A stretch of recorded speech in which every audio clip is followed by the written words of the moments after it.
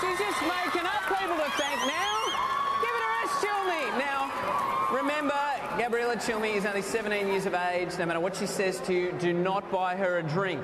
We've got a responsibility as the music community, responsible service of alcohol. Put it down, Chris. Chris, from the living end, the guys have already won themselves an ARIA award and performed. Big night for you guys. What do you do now? Do you just rest on your laurels or do you want one more? Oh, one more would be nice, but it's been a big night already, hasn't it, with the performance and the, and the, best rock album? One, another one would be nice, though. I think another one would be great. It would balance us. Yeah. One in each pocket. Put you under the belt there. Well, good luck, guys. Hopefully, you can clean up because you are up for best single. Someone needs to clean up this floor. Yeah, you look at the mess you've made. Best single, best group, and also the big one album of the year. Yes.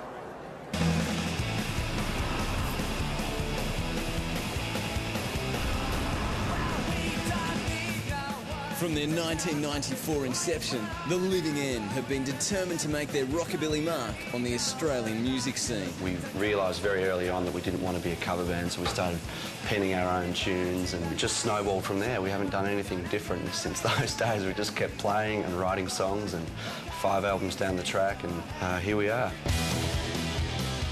After years of relentless touring, it was time for a hiatus. I got to a point where I just kind of felt like I needed to see what else there was in life. So we took some time off and had a bit of a break and then we decided to regroup to work on some songs.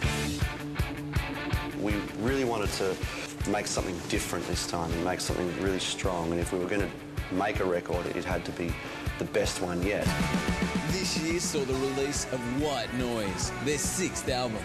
It's all extremely hard work that, that no one ever really kind of gets to see, but it's worth it when you you know when you're on stage and the songs are as good as they possibly can be. For us, definitely White Noise is the most successful record for us. You know, just aside from sales and all that, this was the record that we wanted to make. And uh, if, if it hadn't sold anything, and this is the absolute honest truth, you know, I don't think we would have cared as long as we were happy with the way it sounded. The Living End, White Noise, an Album of the Year nominee.